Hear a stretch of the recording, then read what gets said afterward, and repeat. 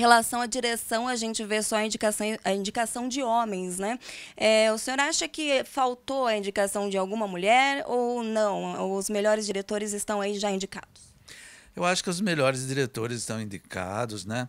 Poderia ter sido indicada a Greta Gerwig por Adoráveis Mulheres, né? Que é um, um filme maravilhoso também, mas uh, é muito difícil imaginar qual dos cinco indicados eu tiraria para colocar a Greta, por exemplo, né?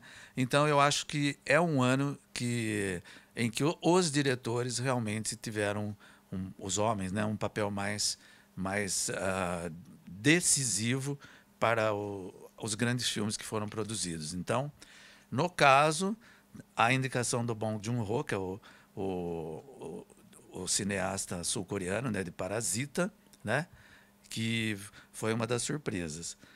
Porque o filme foi indicado a melhor filme internacional, e, mas foi indicado em seis categorias, que já é um grande feito. Né? Então, se eu colocasse alguma diretora, colocaria de Adoráveis Mulheres. Mas aparece aí, né, Brasil e também a Petra Costa como melhor diretora de documentário com Democracia em Vertigem. É, o senhor assistiu esse documentário? Acredita que tem alguma chance? Eu assisti sim, claro. É. Ele é indicado na categoria de, de, de, documentário, né? Petra Costa não é indicada como diretora, ela é a diretora do filme. Eu gosto do filme, é um bom filme, causou muita polêmica. Quando mexe em, em política, né, sempre causa essa polêmica no, no momento em que o país está tão dividido.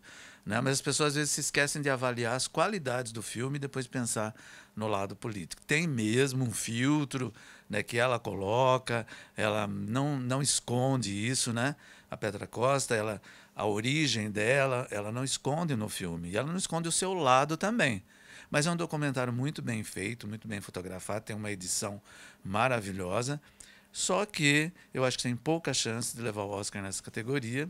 É uma categoria difícil também. E tem um filme, né, o American Factory, que é o filme americano, indicado nessa categoria.